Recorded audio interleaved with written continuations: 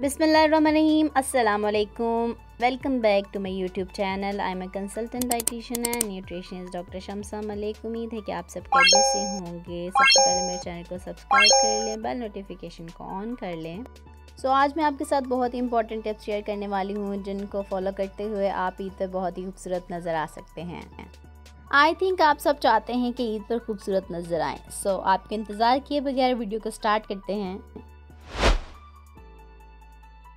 सबसे पहली टिप ये है कि आपने एक चाय का चम्मच शहद लेना है, आधा चाय का चम्मच के गुलाब लेना है, उन दोनों को मिक्स करके आपने अपने स्किन के ऊपर नरमी से अप्लाई करना है। अप्लाई करने के बाद आप इसे 15 से 20 मिनट तक इसी तरह लगा रहने दें और फिर नीम गर्म पानी से इसे धो लें। इसका इस्तेमाल ड्राई स्किन वाले करेंगे। अगर वो इसका इस्तेमाल करते हैं तो उनकी स्किन मॉइस्चराइज रहती है और उनकी चेहरे पर निखार आ जाता है। सेकेंड टिप ये है कि आपने अर्के गुलाब लेना है, उसे रेफ्रिजरेटर में रखना है। जब वो ठंडा हो जाए तो आपने रुई से, उसे अपने पूरे फेस के ऊपर नरमी से अप्लाई करना है। आप इसका इस्तेमाल करते हैं तो आपकी स्किन तरोताज़ा रहती है और निखार आता है।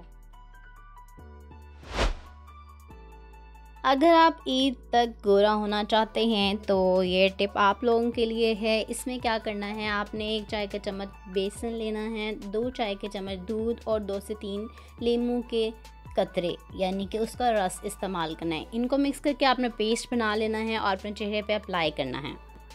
पंद्रह मिनट तक आप लगा रहने दें इसे और इसके बाद मुँह धो लें, ठीक है? हफ़्ते में आपने रोज़ाना इसे इस्तेमाल करना है, इससे आपका रंग जो है वो गोरा होता जाएगा।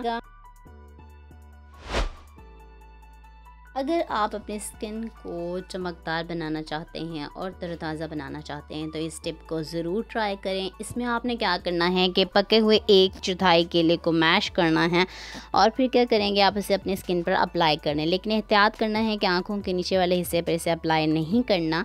इसके बाद आपने दस मिनट तक लगा रहने देना है और ठंडे पानी से मुँह धो लेना है। इससे आपकी स्किन चमकदार हो जाएगी और तरोताज़ा भी महसूस होगी। उम्मीद है आज की वीडियो आपको बहुत अच्छी लगी होगी और आपने बहुत सारी टिप्स नोट भी कर ली होंगी। इन आप ईद से पहले पहले इनका इस्तेमाल करें।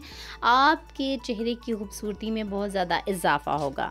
अगर आपने मेरे चैनल को अभी तक सब्सक्राइब नहीं किया तो मेरे चैनल को सब्सक्राइब कर लें, बेल नोटिफिकेशन को ऑन कर लें, वीडियो अच्छी लगे तो इसे लाइक करें, अपने दोस्तों के साथ भी शेयर करें।